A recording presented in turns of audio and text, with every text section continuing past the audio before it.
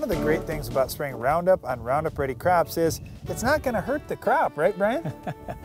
The problem is it does hurt the crop in some cases. Now, nothing tremendously severe. It's, it's not the leaf seen... burn and, and turning the crop brown like we see with some other conventional herbicides. What we're talking about here is a slowdown in growth. Well, yeah, you'll see, yeah, but it's not just a slowdown. You can see yellowing, you can see browning. Have you seen yellow flash on your farm before? We certainly have in our operation when we go to higher rates, and now that we're having Roundup resistant weeds, everybody's bumping the rate, and then if you get any overlap out there, you come around the end rows, anything, we just see yellow flash, especially if your crop is already under some stress. So yeah, Roundup isn't perfectly safe because keep in mind, a Roundup Ready soybean plant or a Roundup Ready corn plant, it doesn't metabolize that Roundup, it compartmentalizes it. It takes it and shoves it down into the root system. And it takes some time, it takes some energy to do that. So again, we're not trying to scare you here. We're not talking five, 10 bushel yield losses. No, and we're but, certainly not trying to bash Roundup. Roundup's been a fantastic product. Right. In fact, in our opinion, it's the best herbicide ever invented.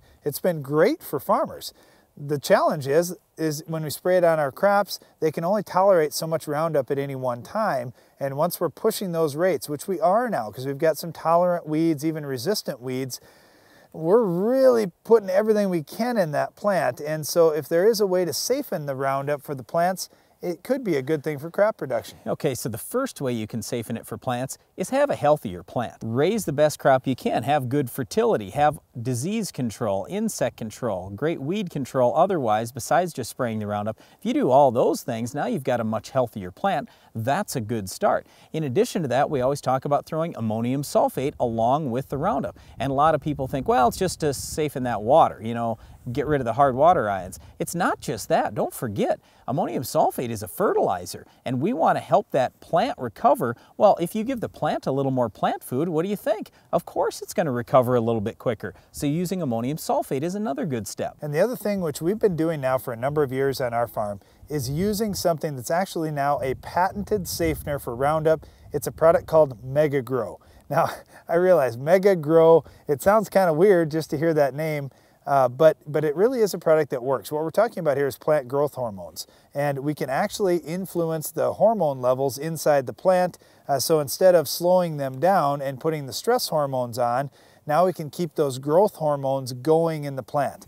What we're seeing on our farm is we're not seeing that yellow flash Brian had talked about when we're using the high rates or even where we may overlap just a little bit on some point rows or something like that. What we're seeing is those plants keep on growing right through that Roundup application and over the next few days. The good side of that is the best weed killer that we've got out in our fields is crop canopy. And when we slow down plant growth, if our crop wasn't completely canopied, now we've got to wait a couple of weeks until that plant really gets growing again. And in the meantime, some new weeds can start to germinate.